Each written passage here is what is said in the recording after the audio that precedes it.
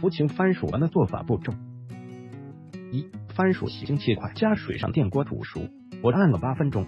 二、番薯煮好后捞出，放在大容器里。三、倒几杯地瓜粉进去，然后趁热用砧板把地瓜块捣碎。四、地瓜不烫手后，就开始用手将地瓜揉成团。五、紫菜、海蛎提前洗净，放着沥干水。里脊切片，鱿鱼切成小丁，一般是加紫菜、海蛎和里脊。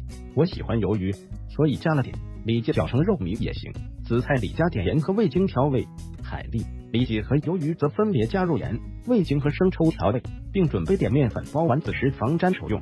六，取一小团番薯团，用手慢慢摊成椭圆碗状。我也不在行。七夕七，往里面依次加入紫菜、海蛎、里脊和鱿鱼丁。八，将丸子封口揉圆了就可以。